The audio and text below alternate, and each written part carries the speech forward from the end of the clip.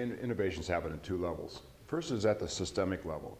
Now we looked at the networking problem of the data center, and rather than trying to build better, a better set of switches to build it out of, we rethought the network as a whole. First of all, we want to create a fabric where everything is connected to everything else.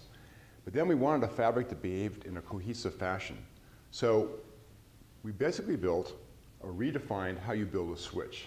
And so the fabric itself is in fact one large logical switch. Now to get there, we had innovations at three, the next levels down. You had to focus on the data plane, the control plane, and the management plane, solving all those problems in order to get the kind of fabric that we wanted to deliver to the data center. Now, each one of those problems is a unique set of challenges and required a different approach. So let's start with the data plane.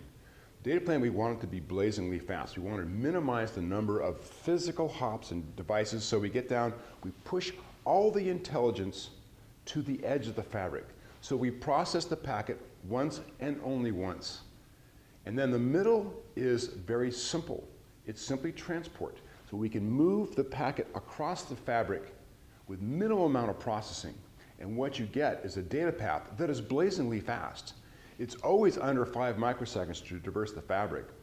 And, and about a microsecond of that latency may be in the cables themselves. So we've seen as low as 3.71 microseconds to go across the fabric and under one microsecond if you're staying within the same rack and therefore doing local switching.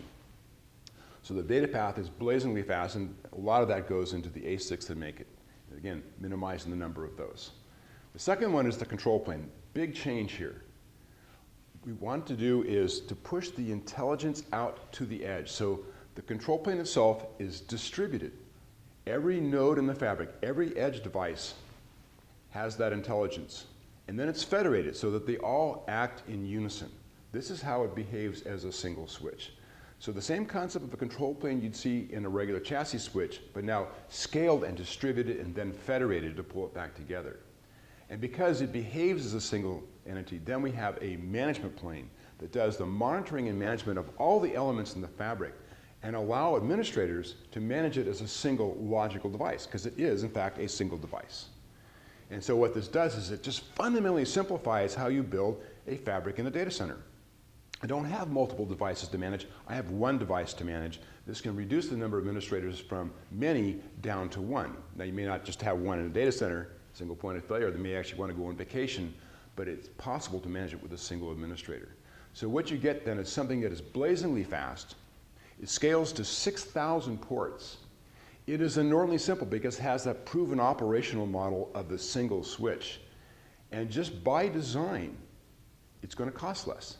There's less hardware, there's less administration, so both OpEx and CapEx are reduced. That's the elegance of rethinking it from the ground up with a clean sheet of paper and not trying to build a network out of the existing building blocks of Ethernet switches.